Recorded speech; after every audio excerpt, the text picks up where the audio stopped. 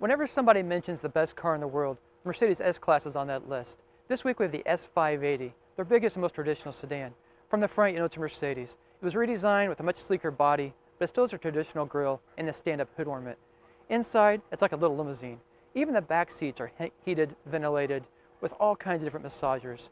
You can change the ambient lighting, you can settle in, listen to the Burmester audio system.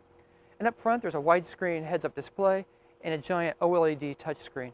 Very nice, very easy to use. Under the bonnet is a 496 horsepower bi-turbo V8, and it still gets 17 miles per gallon in the city and 25 on the highway, so pretty efficient. Of course, a Mercedes like this is going to have a pretty big sticker price. It Starts at $110,000. This one all in, $146,290.